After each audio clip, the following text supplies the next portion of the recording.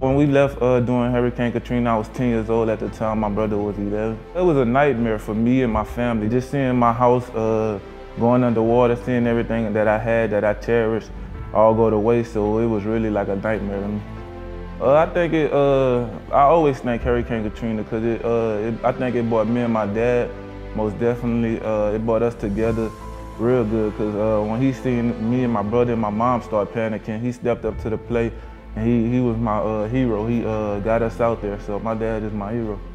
My first impression of that family, uh, just, just the strength of his father to keep them together, uh, enduring what they endured, uh, just as many families did, the horrible horribleness of Katrina and, and, and being you know, uprooted from their homes, completely relocated, not necessarily knowing where they were going to go, and just landing in San Antonio and being able to keep that family together probably uh, just on faith alone and, and, and to see his son uh, uh, go through some, some struggles early on in high school to become the, the, the, young man he's becoming, I think it's just phenomenal. My dad, he walked with me every step of the way, whether it was good or bad. You know, he always talked to me like, if this something, this where you at now. Like New Orleans, we, we can't go back right now. It ain't open, it ain't time to go back. So it just took me a while to get adjusted to my surroundings and uh, I finally got adjusted when I was able to go to uh, school with my brother.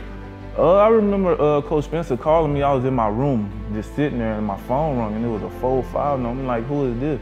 And he called me up. He was like, what's up, Vincent? It's Coach Spencer. We offering you a scholarship.